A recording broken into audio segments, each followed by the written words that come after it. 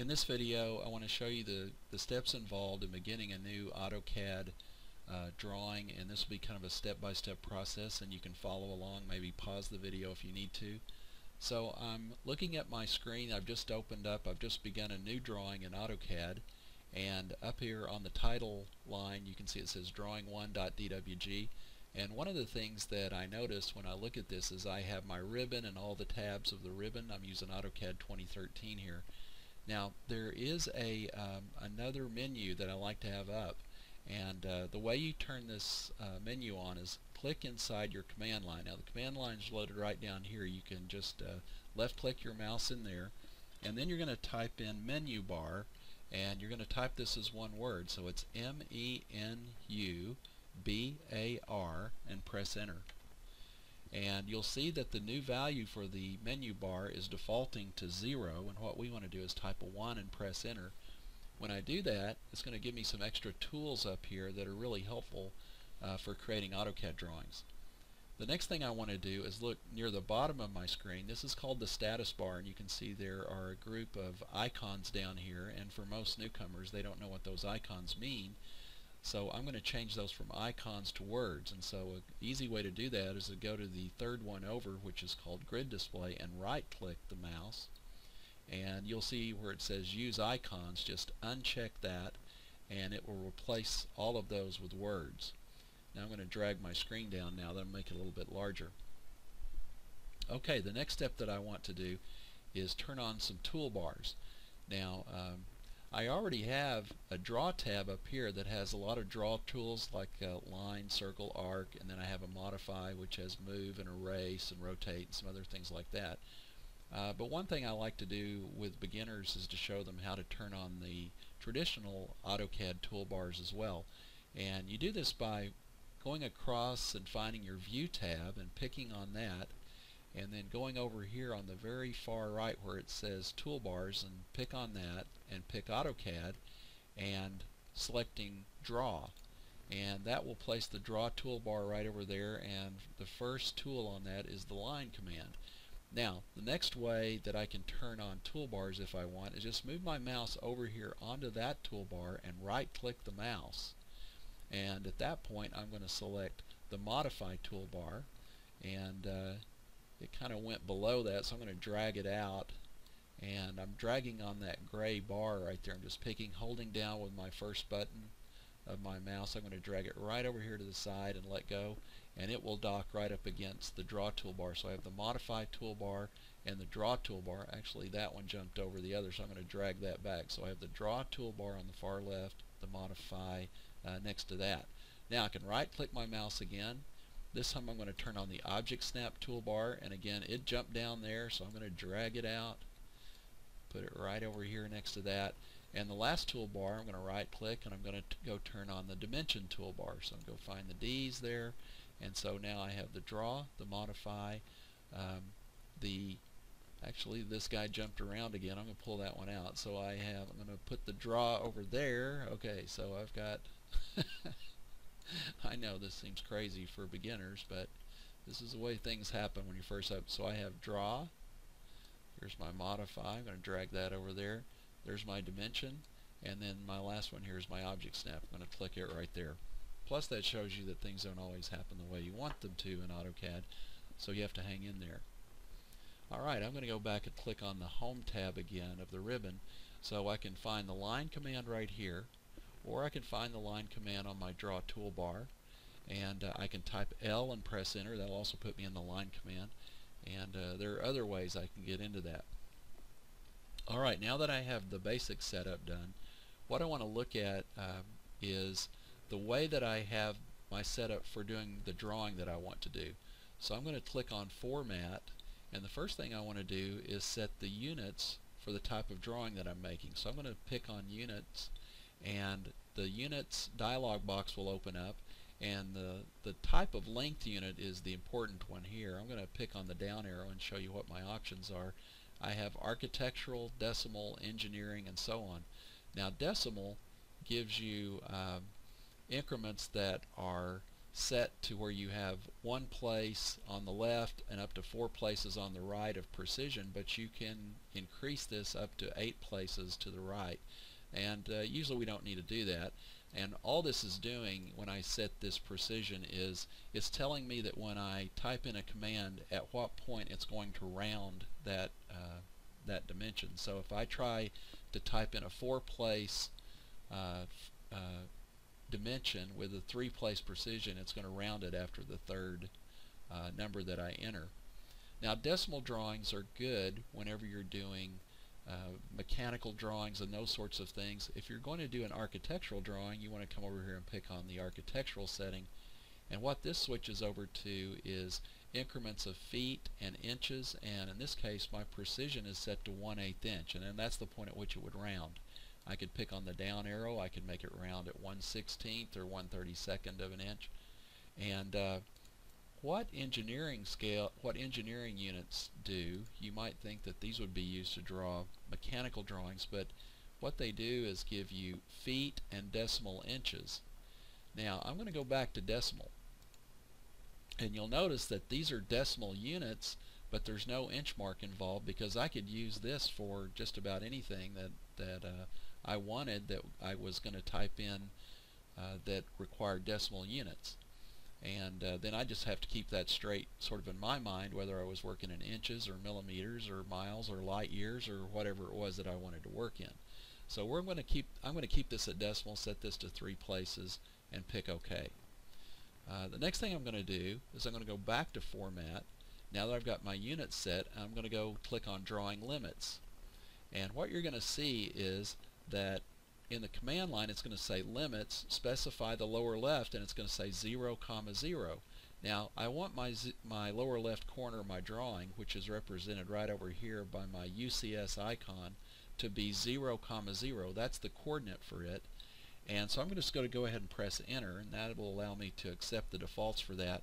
And now it asks me for the limits of the upper right corner of my screen, and you can say, see that it's defaulting to 12, comma 9. I'm going to type in 24 comma 18 and press enter and then I'm going to do what's called a zoom all. I'm going to type Z and enter and A and enter and uh, what AutoCAD does is it zooms my entire screen.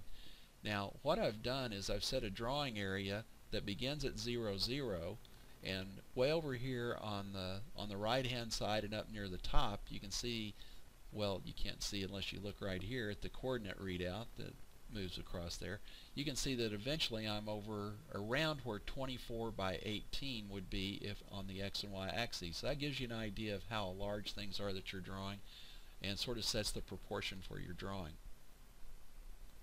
The next thing that I want to do is to create some layers because in AutoCAD we always draw in layers and my layers are all right here inside this layer tab and I want to show you something. When you open a new drawing in AutoCAD AutoCAD gives you one free layer and it's called layer 0. If I pick on the down arrow, AutoCAD will show me all the layers that I have available and like I said, all I have available is layer 0. So let me show you how to make some new layers. You're going to go up to this button right here that's called the Layer Properties Manager. You pick on that and it's going to open up this dialog box.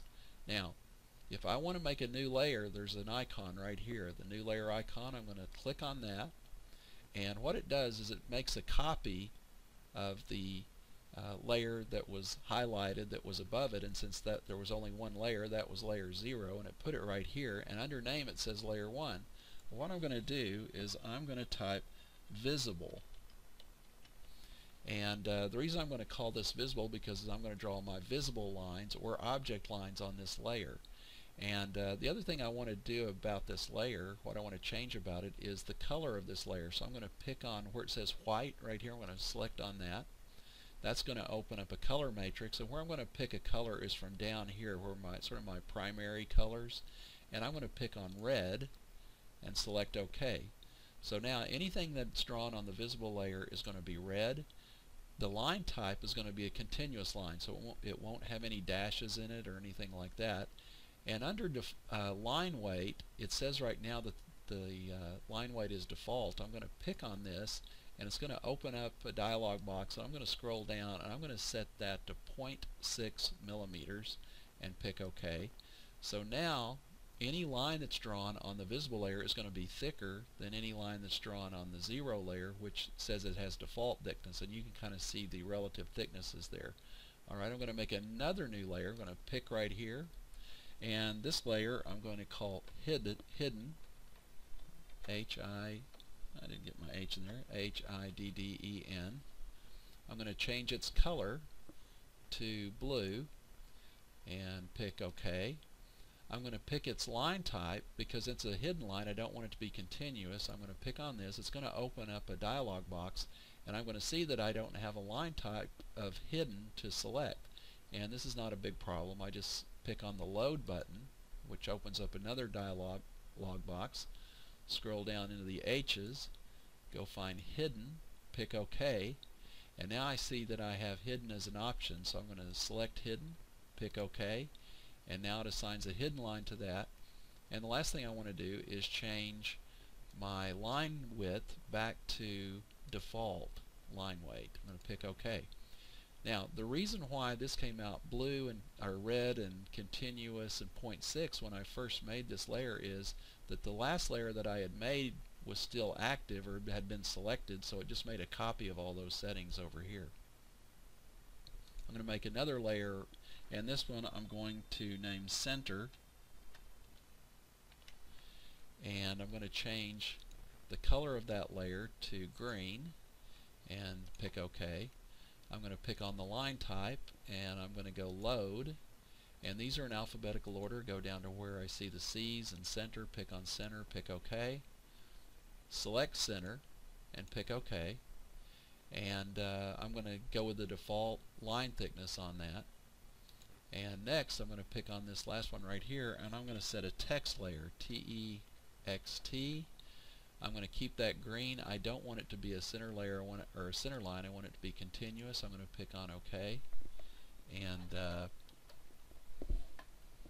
with that I've just created four new layers to go along with layer 0. Now layer 0 has a check mark by it which means that it's my current layer which means that anything I draw right now is going to be on layer 0. But now that I have all my layers set I'm ready to close this dialog box and the way you do that is you go over here to the X in the corner and just pick on the X and that's going to close that.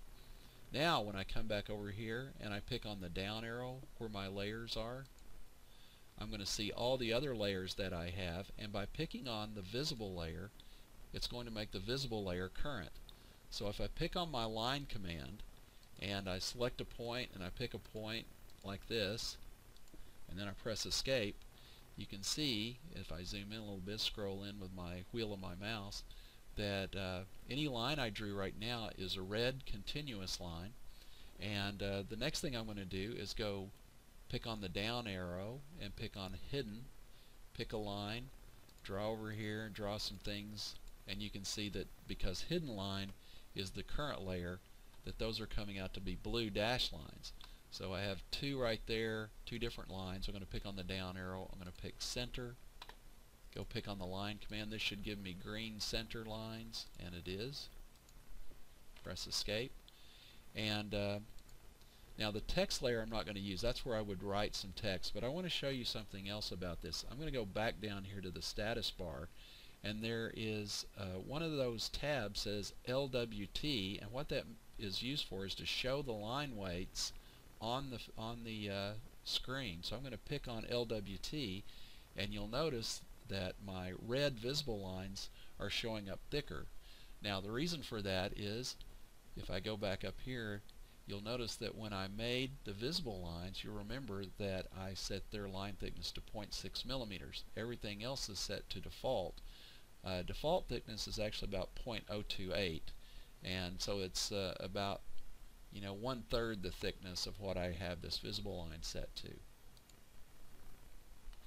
And that's how you uh, get a drawing started. And uh, to recall, I started by setting up my units the next thing I set were the limits of the drawing. Then I created my layers and uh, other things that I that I did were to open up this menu bar up here and of course all I had to do was type menu bar at the command line type 1 and press enter and the other thing I did was that I right clicked on grid and checked unchecked uh, show icons so that I could see words down here. And that's the video. Thank you.